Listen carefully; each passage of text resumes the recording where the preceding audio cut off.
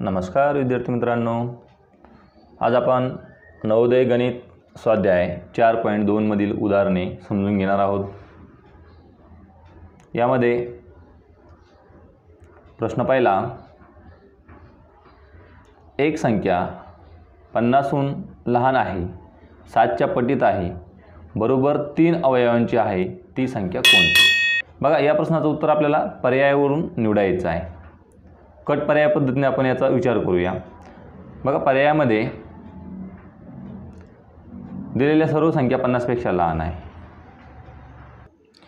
बघा पर्यायामध्ये पन्नासपेक्षा लहान सर्वात मोठी संख्या एकोणपन्नास आहे. याचा विचार केल्यास एकोणपन्नास ही संख्या जर आपण विचारात घेतली तर बघा एकोणपन्नास ही संख्या पन्नासपेक्षा लहान आहे सातच्या पटीत आहे. परंतु एकोणपन्नासचे जर अवयव पाडले तर सात गुन्हेला सात असे फक्त दोनच अवयव मिळतात. प्रश्नाच्या तिसऱ्या भागामध्ये आपल्याला ती तीन अवयवांची आहे असे सांगण्यात आलेले आहे. म्हणजे त्यापेक्षा लहान संख्या बघूया. ही बेचाळीस येते. आता बेचाळीस या संख्येचा जर विचार केला आणि तिचे मूळ अवयव पाडले तर बघा बेचाळीसचे मूळ अवयव पद्धतीने अवयव पाडल्यास दोन म्हणजे एकवीस दुने बेचाळीस आणि पुन्हा दोन गुन्हेला हा एकवीसचे अवयव कसे पडतात? बघा तीन गुन्हेला सात. म्हणजे सात त्रिक एकवीस एकवीस जुने बेचाळीस म्हणजे या ठिकाणी तीन अवयव आहे आणि पन्नासपेक्षा लहान आहे आणि सातच्या पटीतील संख्या ही बेचाळीस आहे. म्हणून या प्रश्नाचं उत्तर येतं पर्याय क्रमांक बी. बघा आता पर्याय बघा प्रश्न दुसरा. सदोतीस या संख्येचा सर्वात लहान विभाजक कोणता? बघा मित्रांनो सदोतीसची संख्या जर आपण बघितली तर सदोतीस ही मूळ संख्या आहे आणि मूळ संख्येचा सर्वात लहान विभाग विभाजक हा फक्त एक असतो आणि सर्वात मोठा विभाजक ती स्वतः असते. बरोबर? म्हणजे या प्रश्नाचं उत्तर आहे पर्याय क्रमांक ए. आता प्रश्न तिसरा तीनशे सत्तेचाळीस या संख्येचा सर्वात मोठा विभाजक कोणता? मग या ठिकाणी विभाजक दिलेले आहे पर्यायामध्ये तीन चार आणि सात. जर तुम्हाला माहीत असेल तर तीनशे सत्तेचाळीस ही सुद्धा मूळ संख्या आहे. आत मूळ संख्या आहे. जर आपल्याला हे माहीत नसेल ही मूळ संख्या आहे तर आपण पर्याय पद्धतीवरून सुद्धा याचं बाय पर्याय एक एक पर्यायाने आपण विभाजक म्हणजे भाग जाणारी पूर्ण भाग जाणारी संख्या. आपण हे यापूर्वीच्या विभाज्यतेच्या कसोट्या या व्हिडिओमध्ये शिकलेलो आहोत. जर तुम्ही विभाज्यतेच्या कसोटा हा व्हिडिओ पाहिला नसेल तर तो व्हिडिओ नक्की पहा. त्याची लिंक डिस्क्रिप्शन बॉक्समध्ये मी दिलेली आहे. बघा तीनने या संख्येला भाग जातो का? बघा तीनमधील सर्व अंकांची बेरीज दिलेल्या संख्येतील सर्व अंकांची बेरीज चार आणि तीन सात सात आणि सात चौदा. चौदा संख्येला तीनने भाग जात नाही म्हणजे हे उत्तर नाही. चारने जातो का बघा? चारची कसोटी आपल्याला माहिती आहे शेवटच्या दोन अंकांना चारने प्रत्यक्ष भाग. तर या ठिकाणी चारने या देव सत्तेचाळीसला प्रत्यक्ष भाग जात नाही म्हणजे चार हे उत्तरसुद्धा नाही. आणि सातचा जर विचार केला सातने प्रत्यक्ष भाग द्यायचा. सात चौक अठ्ठावीस सात चौक अठ्ठावीस किती उरलात? बघा या ठिकाणी उरतात सहा आणि सदुसष्ट. सात सात एकोणपन्नास सात आठ छप्पन सात नव्वे त्रेसष्ट आणि सात दहावी सत्तर म्हणजे सदुसष्टसुद्धा भाग जात नाही. उरलेलं उत्तर हे आपलं पर्याय आहे. अशा पद्धतीने या ठिकाणी प्रश्न क्रमांक तीनचं उत्तर आहे पर्याय क्रमांक डी. म्हणजे मूळ संख्येला सर्वात मोठा जो विभाजक असतो तर ती स्वतःच असते आणि सर्वात लहान विभाजक हा एक असतो. बघा आता. तेराशे ही संख्या दोन संख्यांच्या गुणाकार स्वरूपात लिहा. मात्र दोन्ही संख्येपैकी एका संख्येचे आणखी अवयव पाडू नयेत. बघा हे सगळ्यात महत्त्वाचं. आहे आणखी अवयव पाडू नये म्हणजे याचाच अर्थ त्या दोन संख्यांपैकी एक संख्या ही मूळ संख्या असायला हवी. एक संख्या ही कशी असायला हवी? मूळ संख्या असायला हवीत. कारण मूळ संख्येचे आणखी अवयव पडत नाही हे आपल्याला माहिती आहे. तर बघा पर्याय क्रमांक एक जर बघितला तर या ठिकाणी बावन्न आणि पंचवीस दोन्हीसुद्धा मूळ संख्या नाही संयुक्त संख्या आहे. पर्याय क्रमांक बी जर बघितला तर सव्वीस आणि पन्नास या दोन्हीसुद्धा मूळ संख्या नाही आहेत. परंतु पर्याय क्रमांक सीमध्ये बघा तेरा ही एक मूळ संख्या आहे आणि शंभर ही दुसरी संख्या आहे. तेरा आणि शंभर यांचा गुणाकार केल्यास तेराशे म्हणजे एक हजार तीनशे उत्तर आपल्याला मिळतं आणि या ठिकाणी हेच आपलं अचूक उत्तर आहे. अशा पद्धतीने शॉर्ट ट्रिक्स बाय पर्यायावरून आपण या प्रश्नांचं उत्तर या ठिकाणी शोधू शकतो. त्यानंतर बघा प्रश्न पाचवा. एकशे दहा या संख्येच्या एकूण विभाजकांची संख्या ही मूळ अवयवांच्या संख्येपेक्षा कितीने जास्त आहे? एकशे दहा या संख्येचे आपल्याला सर्वात प्रथम एकूण विभाजक या ठिकाणी शोधायचे आहेत. एकूण विभाजक शोधण्यासाठी आपण गुणाकार पद्धतीचा वापर करून या ठिकाणी एकशे दहाचे एकूण विभाजक शोधू आणि त्यामध्ये आलेले मूळ अवयव या ठिकाणी आपण शोधू. आणि त्यांच्यातला फरक आपला काढायचा. बघा एकशे दहाचे एकूण विभाजक शोधत असताना एकशे दहा बरोबर एक गुन्हेला एकशे दहा पहिला गुणाकार. दुसरा भाग दोनने जातो का बघा? दोन गुन्हेला पंचावन्न पाच दुने दहा चाला एक पाच दोन दहा आणि एक अकरा. आता या संख्येला तीनने भाग जातो का बघा? तीनने भाग जातो का? तर तीनची कसोटी आठवा. दोन आणि एक तीन. तीनने भाग जात नाही. चारने जातो का बघा? शेवटच्या दोन संख्यांना चारने भाग जात असेल चारने जातो. चारने सुद्धा भाग जात नाही. त्यानंतर या ठिकाणी पाचची कसोटी आठवा पाचने भाग जातो कारण शेवटी शून्य आहे. बघा पाच गुन्हेला या ठिकाणी पाच दुने दहा हातचा आला एक पुन्हा पाच दुने दहा बावीस पंचे एकशे दहा. बघा आता या ठिकाणी पुन्हा एकदा आपल्याला सहाची कसोटी वापरून बघायची सहाने भाग जातो का? सहाने या संख्येला भाग जाणार नाही. त्यानंतर सात नाही जात आठने बघा नाही. नऊने भाग जातो का बघा या संख्येला? नऊने नाही जाणार दहाने जातो का बघा? दहा गुणेला अकरा. अशा पद्धतीने आपण या ठिकाणी या संख्येचे अवयव हे पाडत असतो. बघा हे एकशे दहाचे एकूण अवयव आपण या ठिकाणी काढलेले. आता एकूण अवयवांची संख्या आपण मोजूया. एक दोन तीन चार पाच सहा सात आठ. आठ हे एकूण अवयव झालेले आहेत. आता यातील मूळ अवयव कोणकोणते आहे बघा? दोन पाच आणि अकरा ह्या मूळ अवयव आहेत. मूळ संख्या आहेत. म्हणजे पा आठ वजा तीन बरोबर पाच. पेक्षा जास्त म्हणजे आपल्याला फरक या ठिकाणी विचारलेला आहे. फरक असेल तर आपण वजाबाकी करतो. म्हणजे या प्रश्नाचं आपल्याला अचूक उत्तर मिळतं आहे पाच.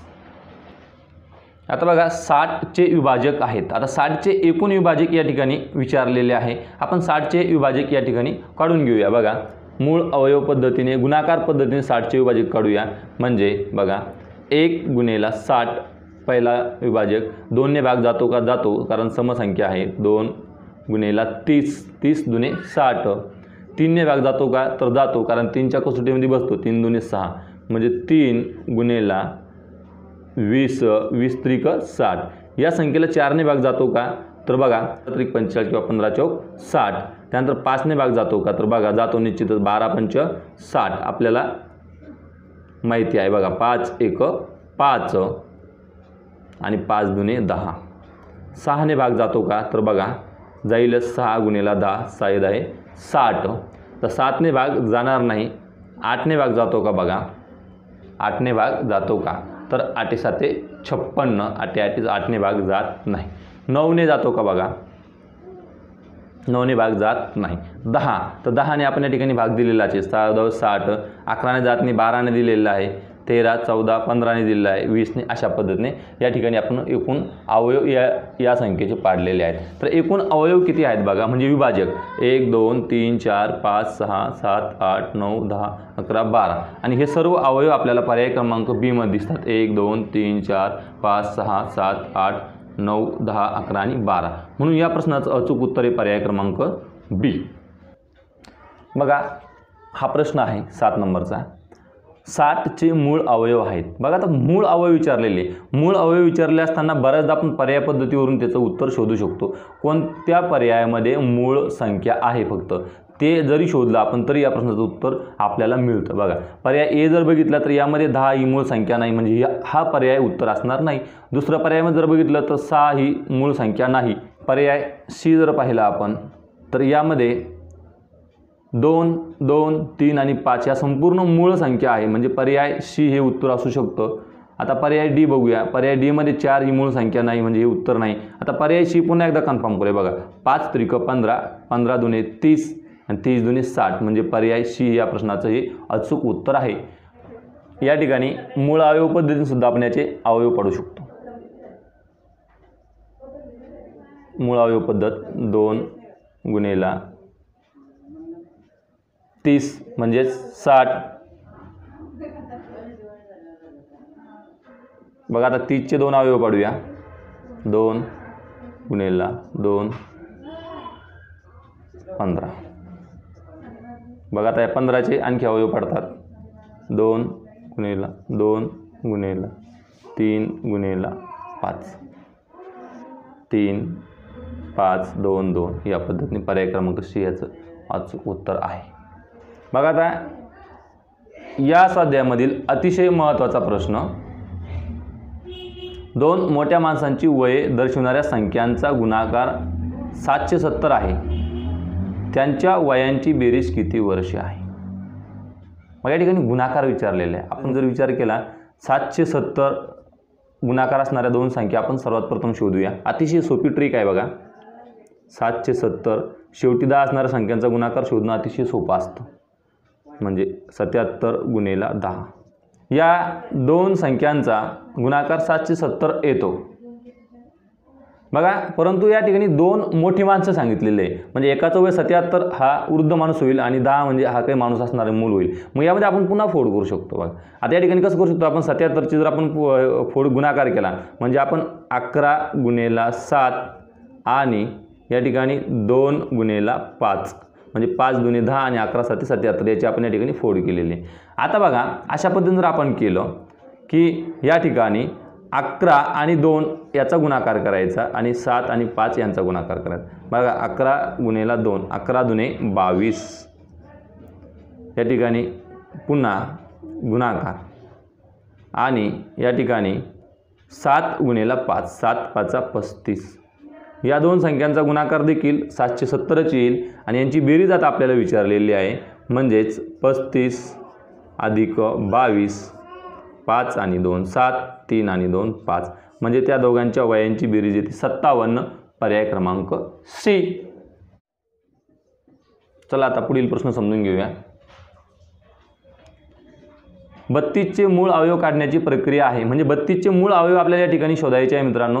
तर मी सांगितलेलं पर्याय पद्धती पद्धतीचा अवलंब करा. या ठिकाणी मूळ अवयव असणारी पर्याय आहे ए आणि बी. कारण सीमध्ये आठ ही मूळ संख्या नाही आणि डीमध्ये चार ही मूळ संख्या नाही. आता याचा गुणाकार करू. ज्यांचा गुणाकार बत्तीस आला ते आपलं उत्तर बघा. बे एक बे. बे दुने चार चार दुने आठ आठ दुने सोळा सोळ दुने बत्तीस ए हेच उत्तर आहे दुसरं चेकसुद्धा करण्याची गरज नाही. जरी चेक केलं तरी आपल्याला मिळणार नाही बघा. बे दुने चार चार त्रिक बारा बारा त्रिक छत्तीस म्हणजे छत्तीस हे उत्तर नाही आहे. हे उत्तर आहे.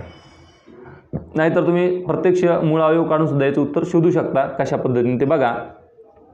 बत्तीसचे दोन अवयव शोधायचे दोन गुणेला सोळा सोळा दुने बत्तीस. बघा आता दोन सोळाचे दोन अवयव करायचे. म्हणजे दोन गुणेला आठ आता आठचे दोन अवयव करायचे. दोन गुणेला दोन गुणेला दोन गुणेला चार. आता चारचे दोन अवयव करायचे. ते दोन गुणेला दोन गुणेला दोन गुणेला. या ठिकाणी तीन वेळा दोन. आता हे चारचे दोन अवयव म्हणजे दोन गुणेला दोन. बघा बे दोन्ही चार चार दोन्ही आठ आठ दोन्ही सोळा सोळा दोन्ही बत्तीस एक दोन तीन चार पाच. वेळेस चार.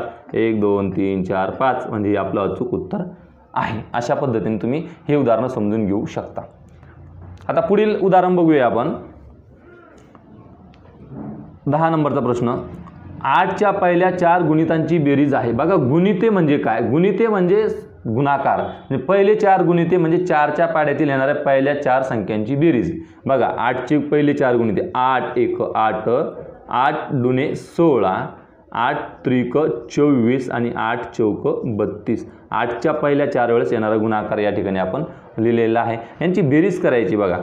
आठ आणि सात चौदा चौदा आणि चार अठरा अठरा आणि दोन वीस वीसला शून्य आजचे आले दोन दोन आणि एक तीन तीन आणि दोन पाच पाच आणि तीन आठ उत्तर येतं ऐंशी. ऐंशी कुठे दिसते बघा? तर पर्याय क्रमांक सी हे आपल्या या प्रश्नाचं अचूक उत्तर आहे. आता प्रश्न अकरावा. पहिल्या शंभर नैसर्गिक संख्यांमध्ये दोन व सातच्या पटीत असणाऱ्या एकूण किती संख्या आहेत?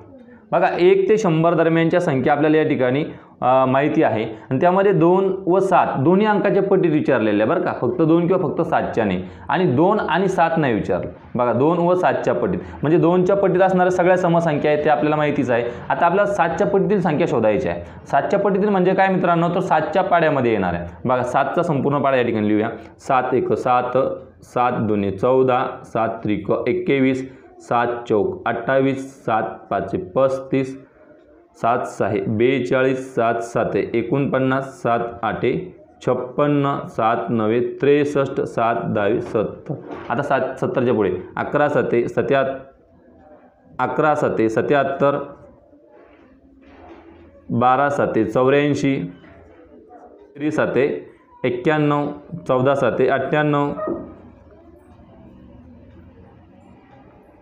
बघा आता यामध्ये दोनने भाग जाणाऱ्या संख्या कोणकोणत्या आहे तर यामध्ये स असणारे समसंख्या ह्या दोनने विभाज्य असतात. म्हणजे या ठिकाणी चौदा अठ्ठावीस बेचाळीस छप्पन्न सत्तर चौऱ्याऐंशी आणि अठ्ठ्याण्णव.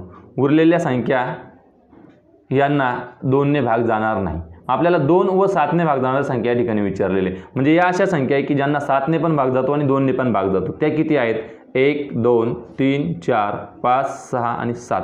एकूण सात अशा संख्या आहेत की ज्यांना दोन व सातने भाग जातो. म्हणून हे या प्रश्नाचं अचूक उत्तर आहे मित्रांनो.